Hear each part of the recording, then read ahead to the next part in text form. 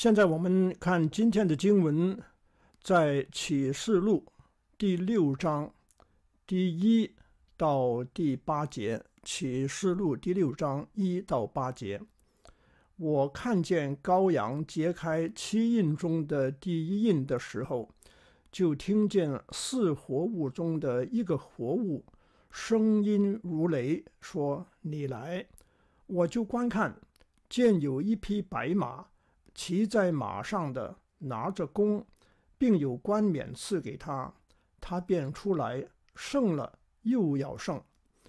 揭开第一、第二印的时候，我听见第二个活物说：“你来。”就另有一匹马出来，是红的，有权柄给了那骑马的，可以从地上夺去太平，使人彼此相杀。又有一把大刀赐给他。揭开第三印的时候，我听见第三个活物说：“你来。”我就观看，见有一匹黑马，骑在马上的，手里拿着天平。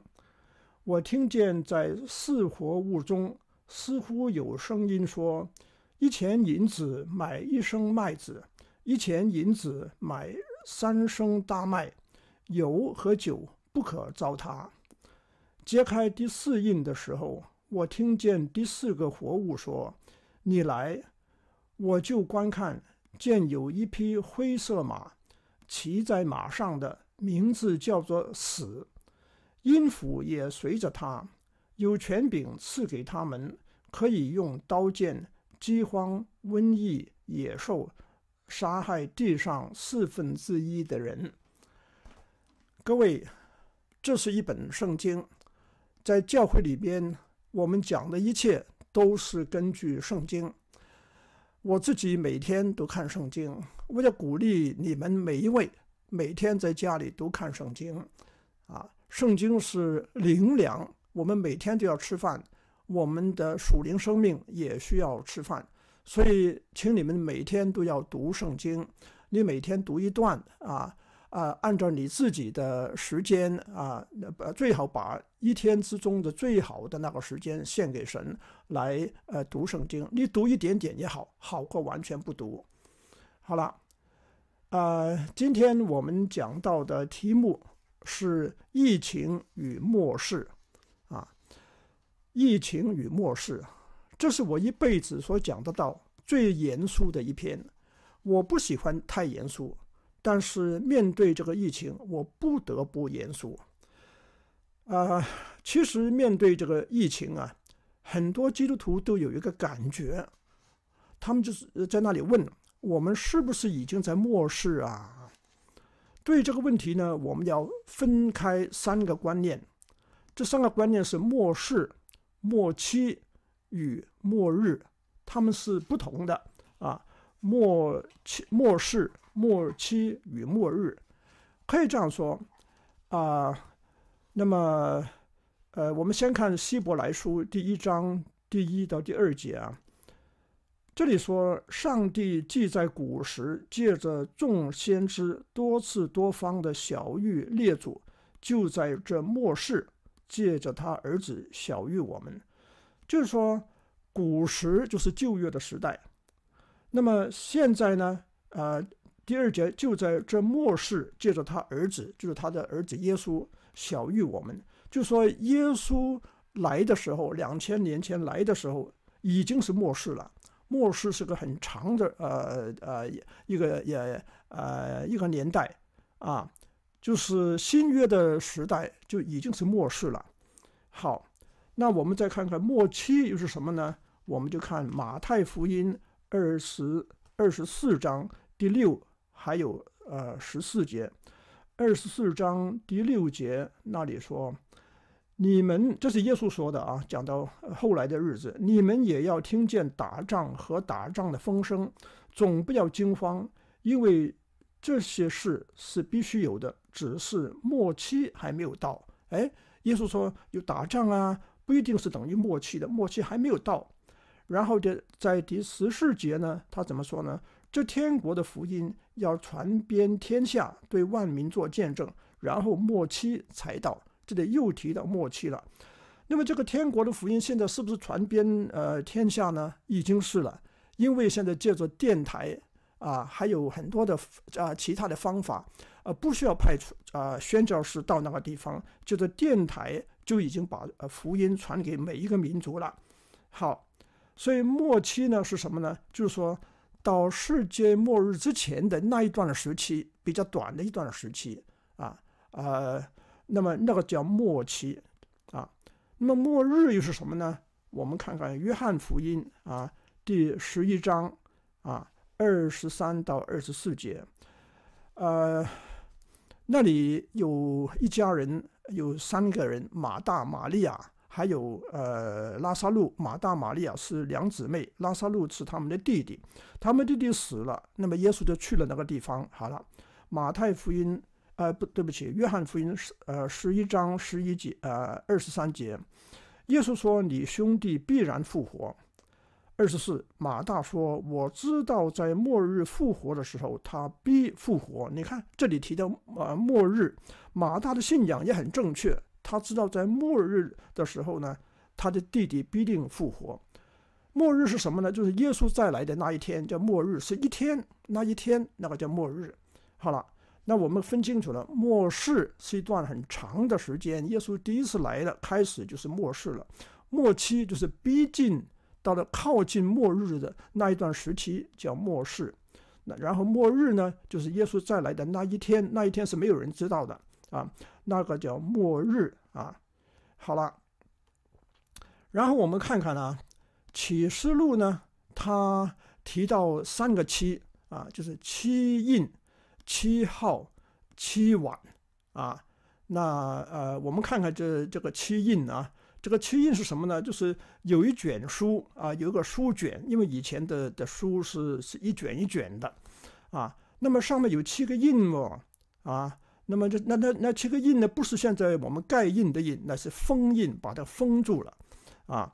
那么代表什么呢？就是幕后要发生的一些历史的东西呃事情。那么当时呢，呃，就是约翰看见这个书卷呢，天上就有人问了，就是说，谁配打开这个书卷呢？啊，约翰就发现没有人配打开这个书卷不？这个约翰就大哭。为什么他大哭呢？因为他知道，啊，他很想知道在幕后会发生什么事情，幕后的历史是怎么样的。他发现，哎呀，我很想知道啊，没有人打开这个印呢，那怎么办呢？啊？啊，原来呢，就是后来就说，哦，原来耶稣那个被杀的羔羊，他配打开这个印啊。那么，呃，这耶稣一个一个一一个一个印打开，那每一个印打开呢，就发生一件事情了啊。我们今天要注重这个了。呃，我们先讲一讲，就是说，呃，打开第七个印的时候呢，第七个印是没有东西的。这个第七个印呢，开出七个号，号就是那个号角。那么七个号呢，就代表三七个灾难，但是第七个号呢，又开出七个碗，那这些我们现在都不讲了啊。我们再呃看看呃另外一个很重要的东西，就是所谓四活物啊。呃，圣经里面启示录提到四活物，什么叫活物呢？就是他们是活的，不是死的。基本上他们是四位呃特别的天使，圣经称他们为为基路伯。啊，这是启示录第四章啊，第呃六到第七节那里提到的第四章第六到第七节啊，这里说宝座前好像一个玻璃海，如同水晶啊，宝座中和宝座周围有四个活物，前后边体都呃满了眼睛，它这四个活物呃全身都满了眼睛，就是他们什么东西都看见的。啊，什么隐藏的事情他们都看见的。那我们注意这四个活物啊，他们是四个特别的天使，就呃就是在神面前靠特别靠近神的。第一个活物像狮子，并不是说它是它是一个狮子，呃狮子它像狮子。第二个像牛犊，牛犊就是个小牛。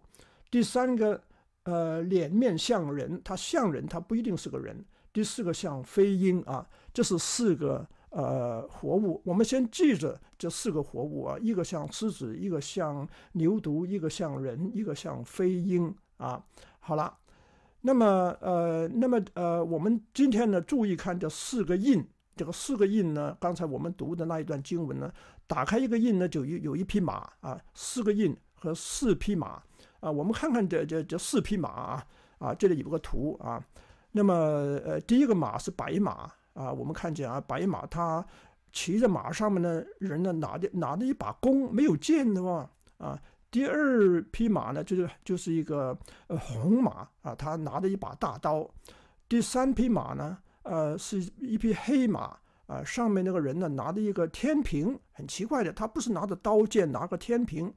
第四匹马呢，它的名字叫死，还有一个呃音符，呃呃随着它的。好，那今天我们集中看这四印中的四个马啊，当然。呃，这个四，这个呃，还有第五个印、第六个印、第七个印，还有呃七个号、七个碗，那是灾难啊。但是我们不要太复杂了啊。我们今天只是看这四个印，我认为我们今天的时代已经到了第四个印了，已经在第四个印当中了。好，我们详细的看一看这几个印呢。首先第一个印，第一个印呢，它呃。有一第一个活物，他就说：“你过，你来看啊。”那么，呃，约翰就过去看了，他的声音如雷啊。我们看第一到第二节啊，第一到第二节那里怎么说呢？我看见羔羊揭开七印中的第一印的时候，就听见四活物物的一个活物，其实也也就是第一个活物，就是像狮子那个声音如雷，因为这个狮子啊。它吼叫的时候呢，声音如雷的说：“你来，我就观看观看，见有一匹白马，骑在马上的拿着弓，并有冠冕赐给他，他便出来胜了，又要胜啊！我们注意啊，他不是说胜了又胜，他说胜了又要胜啊，这个很重要啊。好，那么呃，我们首先发现。第一个活物就是像狮子那个活物，他就说：“呃，你来啊！这个活物是个狮子啊，呃，狮子代表啊尊荣，代表勇气，代表力量啊啊！我们发现呢，这个呃有一匹白马出来，呃，这个骑着白马上的这个人呢，有弓没有箭的啊，有弓没有箭的。”那么到底这个白马是谁呢？这个骑着白马上的人是谁呢？有人说这个是耶稣啊。我们看看启示录，因为启示录的第十九章啊，呃，启示录的第十九章第呃十一跟十五节那里呢提到的，呃，说那个就是呃耶稣。我们看看启示录十九章啊，我现在翻到启示录十十九章十一节那里，我观看。见天开了，有一匹白马，骑在马上的称为诚信真实。他审判征战都按公义啊。呃，他的眼睛，呃，对，呃，不，不要读下面了。然后第十五节，啊，十五节，啊，有利剑从他口中出来，可以击杀列国。他必用铁杖管辖，呃，他们啊，等等。啊，那么有人说呢，呃，这个白马就是呃就是耶稣了，但是我认为这个有可能，但是我认为这这里的白马不是指耶稣，因为耶稣是打开印的那一位，他不可能打开那个印，印里面有个马又是他自己啊。我认为呢，他是代表什么呢？他是代表呃英国还有美国，因为他怎么样了？他说这个骑马的人呢。拿着一把弓，他没有剑的，啊，呃，就是说这个国家，这个英国这个国家很奇怪，他曾经是全世界最强的国家，他打仗啊，呃，都不在自己国家里面打的，都在外面打的，就那个箭射了出去，不需要在自己国家里面用刀啊，呃，用枪啊来打的。那美国也是，美国打了好多次仗呢，不需要在自己国家里面打的，他有弓没有箭的。啊，那么他看起来呢，并不凶的啊，因为他是拿了一把弓啊，他不是拿着刀啊，给人一个很正面的印呃印象啊。那么其实我们今天移民最多的国家是什么？是什么呢？就是讲英语的国家很少人，比较少人移民到讲法语啊、西班牙语啊等等的国家，不是没有啊。但是最多人移民去的就是英国、美国、加拿大、澳洲、新西兰，就是英国还有英国建立的啊，呃的的国家啊。那么他们给我们的印象都是不是太凶啊？他们不一定很好，但是不是太凶啊？啊，不是拿着刀的啊。呃呃，圣经还说呢，冠冕赐给他，有个冠冕赐给他。那我们看看英国啊。呃，这个图画啊，呃，这英国有个国徽的，它的国徽呢就是呃三个狮子啊，就是好像刚刚才说，呃，第一个活物就是好像狮子那样子的啊，呃，英国以前有一个呃皇帝叫 Richard the Lion Heart，就是狮王理查啊，从此呢，英国的国徽的就变成狮子了，狮子代表英国。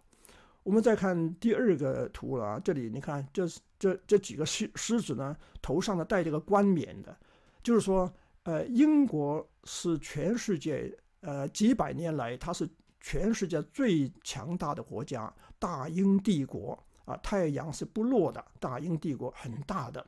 当时美国也是属于英国的，加拿大也是英国的，澳洲、新西兰都是属于英国的，香港、新加坡、印度都是属于英国的。大英帝国它有个冠冕的，在英国之后呢，就美国兴起了，也是全世界第一、最富最强的国家啊。以前是英国，后来是是美国啊，有所以说有冠冕赐给他，并且呢，圣经说他胜了又要胜，这个很重要。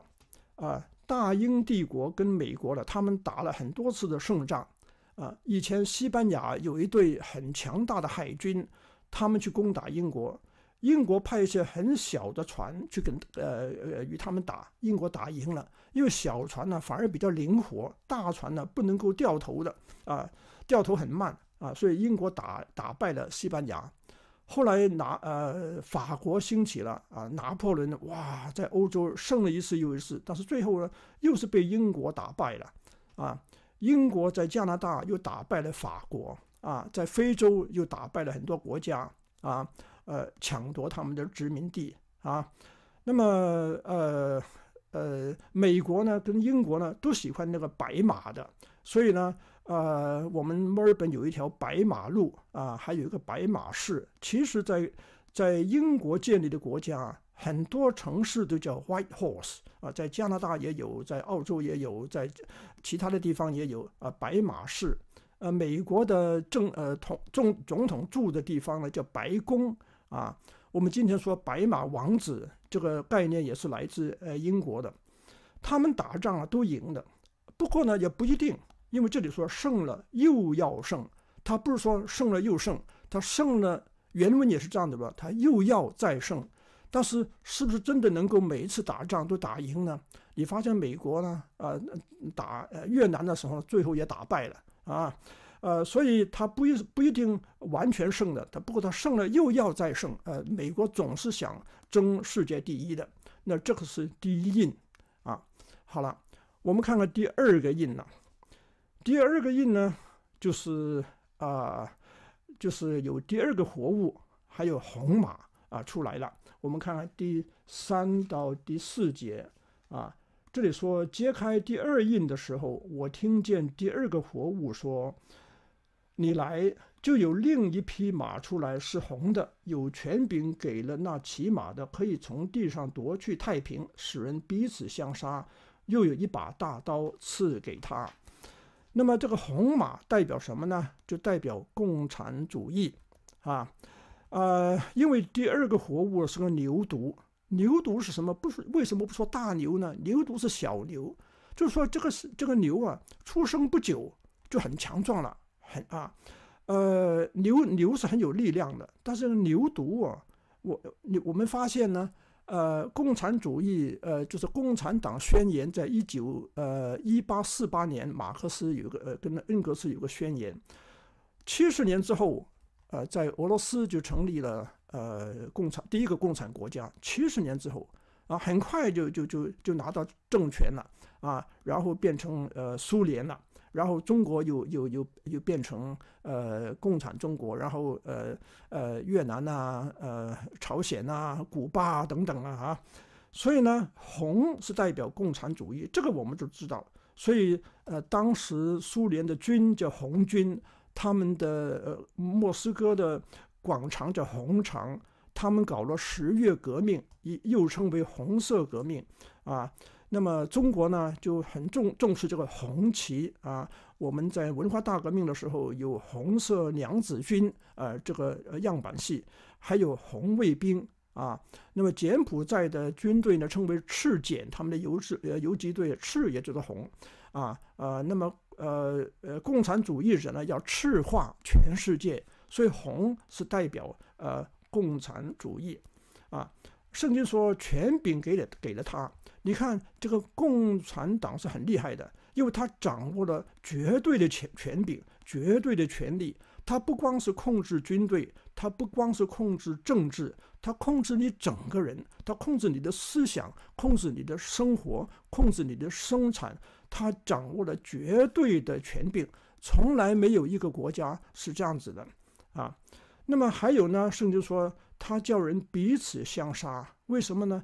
呃，因为他们有阶级斗争啊。那么毛泽东也讲了一句话，他说：“革命不是请客吃饭，革命不是绘画，不是做文章，不是文质彬彬啊。革命是一个阶级啊啊推翻另用暴烈的的行动推翻另外一个阶级，它是一种暴动。”暴烈的行动，啊，所以呢，家人可以互相斗争，啊，朋友可以互相斗争，所以圣经说，这个呃红色的马出来的，要叫人彼此相杀。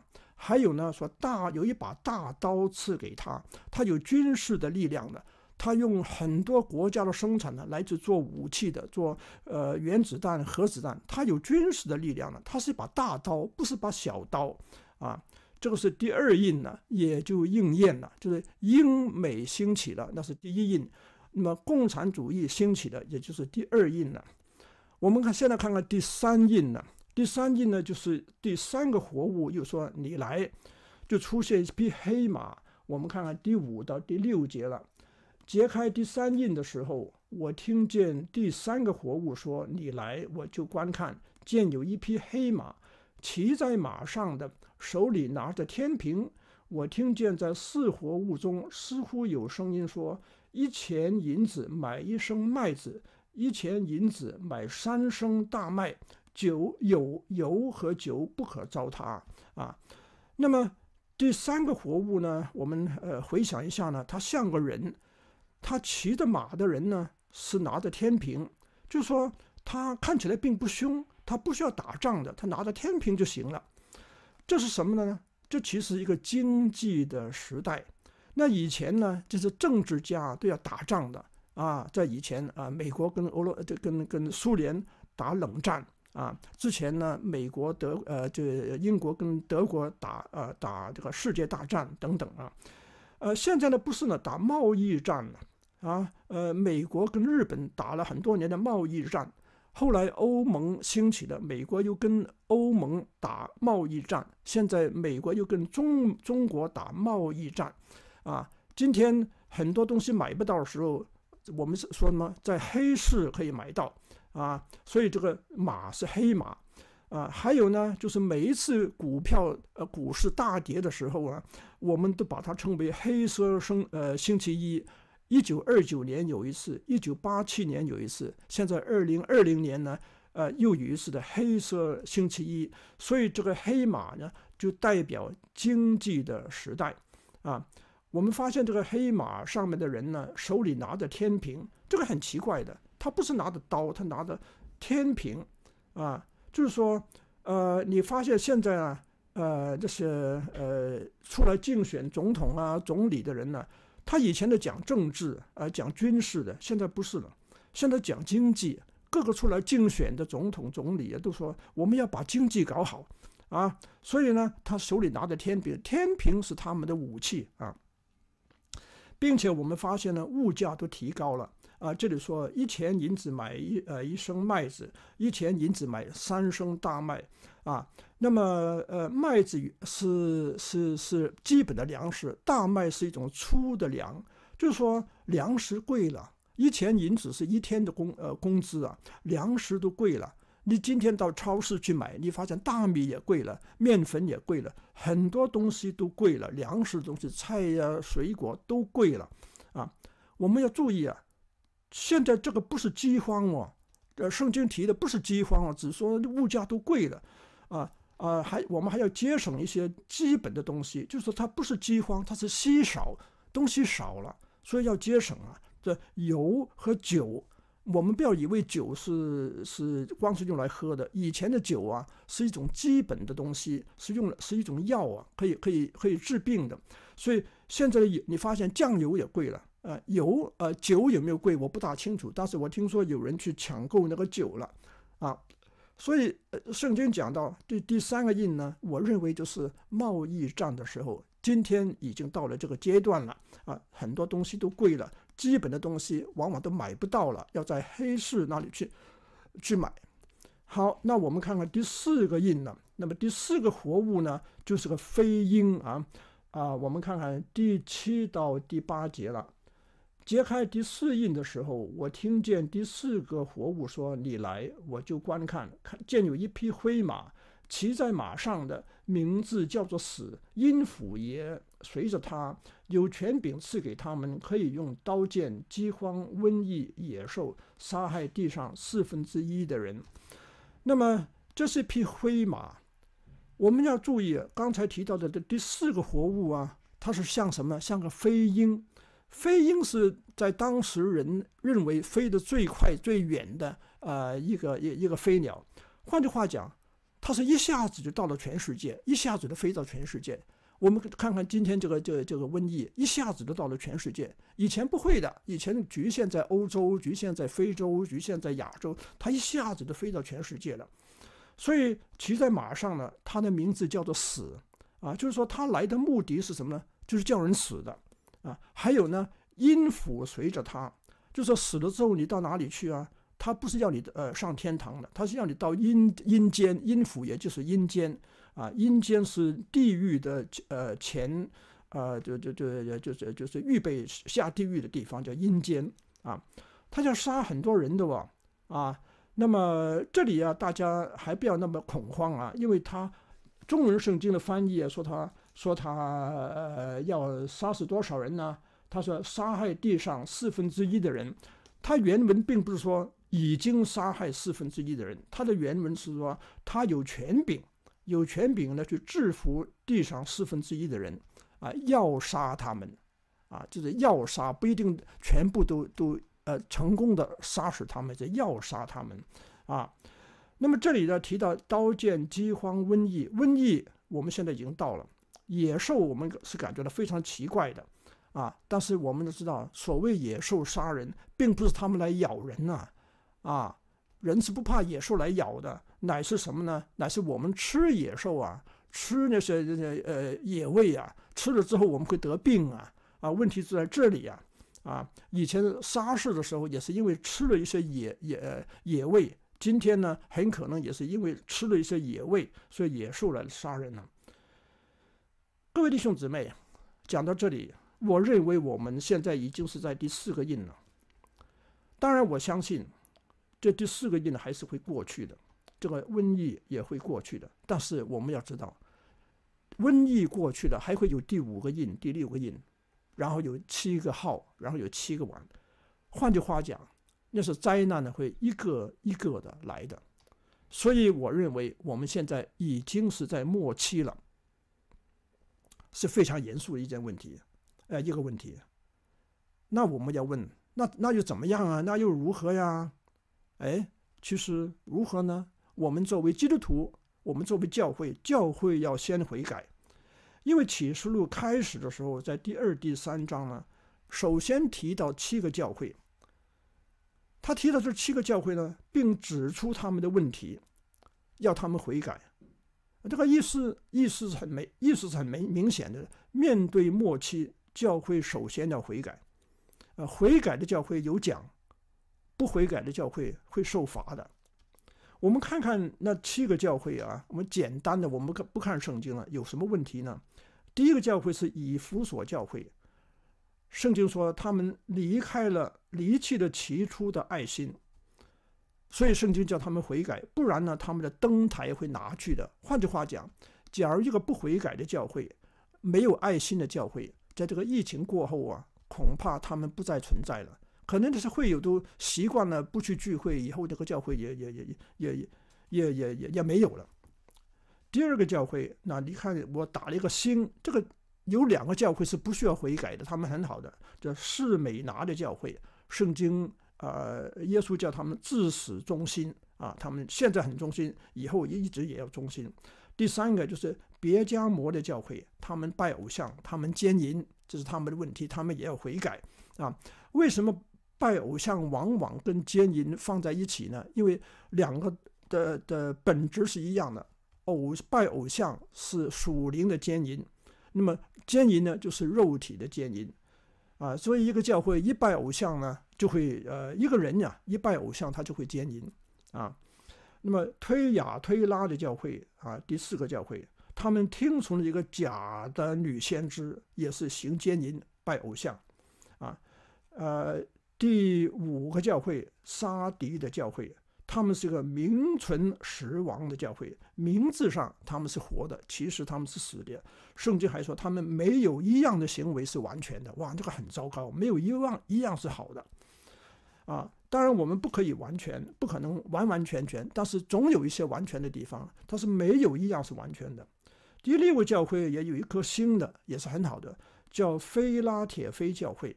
圣经只是。鼓励他们持守所有的，不失去他们的冠冕。他们做得很好，但是要持守。最后一个教会是老底家的教会，说他们呃，耶稣说他们不冷不热的，也要悔改。